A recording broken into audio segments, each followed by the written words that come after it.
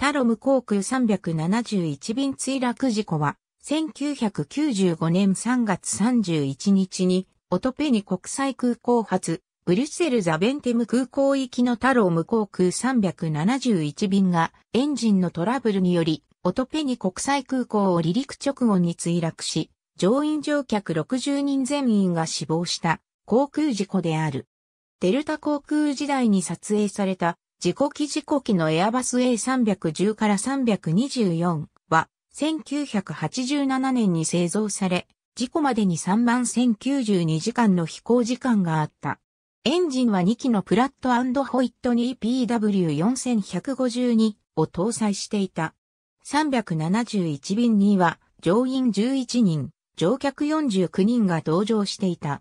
機長は当時48歳で総飛行時間14,312時間のうち A310 では1735時間の経験があった。1969年にルーマニアの空軍学校を卒業しており、1994年11月12日に同型機のシミュレータ訓練をスイスのチューリッヒで行っていた。副操縦士は当時51歳で総飛行時間8988時間で、うち650時間が A310 によるものだった。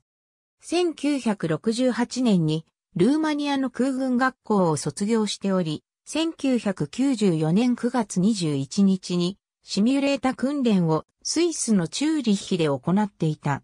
371便の操縦は副操縦士が担当しており、現地時間9時6分に離陸した。2000フィート付近を上昇中に第一エンジンに異常が発生し、水力が左右非対称になった。副操縦士は機長にフラップとスラットを格納するよう言った。機長はフラップを格納したが、スラットは格納しなかった。待機速度が低下し始め、機体は左へ傾斜していき、所定のコースを逸脱していった。9時8分、両エンジンの EPR の差が最も大きくなり、機体は左へ43度傾いた。ブラックボックスを解析した結果によると、パイロットは自動操縦に切り替え、第2エンジンの水力を減らした。しかし直後に自動操縦が解除され、高度を急速に失っていった。急降下により、待機速度が増していくにつれて、機体はさらに傾斜した。この時、副操縦士は Z1 ハズフェールドと発している。機体は61度の機種下げ状態、324ノットの速度で地面に激突した。管制官はしばらく371便に呼びかけたが、応答はなかった。そのため、付近を飛行するタキトタロム航空のディスパッチャーに371便と更新するよう頼んだ。どちらとも371便と更新できなかったため、管制官はリトリス波を発信した。捜索隊が当局によって構成され、捜索を開始し、粉々になった機体の残骸を発見した。残骸は大きいものでもわずか6から7フィートの大きさしかなく、ルーマニアの内相は現場には何も残っていなかったと述べた。墜落により、地面には深さ6メートルのクレーターができていた。生存者は発見されず、乗員乗客60人全員が死亡した。事故調査は、ルーマニア当局が主導し、エアバスも調査を支援した。目撃者は371便が地上に激突する前、爆発が生じたと証言した。また、墜落の2週間前にはタロム航空のボーイング737が爆破予告により緊急着陸していた。残骸の様子から調査官は、機体は地表近くで爆発したか、地上に激突した時に爆発したようだと述べた。調査により、もともと事故機のエンジンには不具合が何度も起こっていたことが判明した。離陸後の上昇中に上昇水力に設定すると第1エンジンがアイドルになるということが報告されていた。メンテナンス後、1995年3月16日までは不具合は起こらなかった。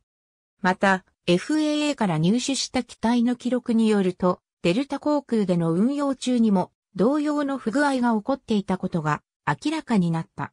デルタ航空はタロム航空と同様のメンテナンスを行っていた。開発元のエアバスはこのような不具合が発生することを認識していた。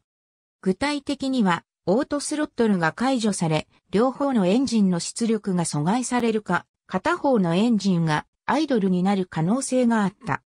調査官は、この不具合の主な原因は、スロットルとオートスロットルのカップリングユニットとの間に課題の摩擦が生じたことだと結論付けた。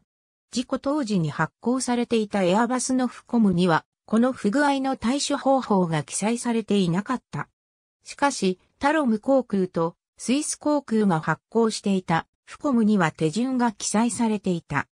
タロム航空では離陸時、パイロットのどちらか一方がスロットルレバーを手で押さえることで左右の水力差を均等に保つ処置を行っていた。前述した通り、機長はフラップは格納したが、スラットを格納しなかった。だが、実はこの時点で、機長は心臓発作を起こしていたことが、レコーダーの記録から明らかになっている。つまり、スラットを格納しなかったのは意図的ではなかった。機長が明らかに苦しんでいる声が記録されており、それが墜落20秒前の出来事であった。これを最後に、機長の会話は途絶えている。この時に、機長の手はスロットルレバーから離れてしまい、その直後のタイミングでこの機材がもともと抱えていた左右エンジンの水力、不均等の症状が発生してしまい、371便は左へ傾いていった。副操縦士はスロットルレバーと機長の突然の心臓発作という二つの問題が同時に発生したことに対処できなくなり、雲の多い気象条件は副操縦士を空間式失調に陥らせた。副操縦士は機体を立て直そうとしたが、修正することはできなかった。報告書では、副操縦士が立て直しに失敗した要因の一つに、人工水平儀の使用が東西で異なっていることを挙げた。副操縦士の総飛行時間のほとんどは、東側諸国製の航空機によるものであった。ありがとうございます。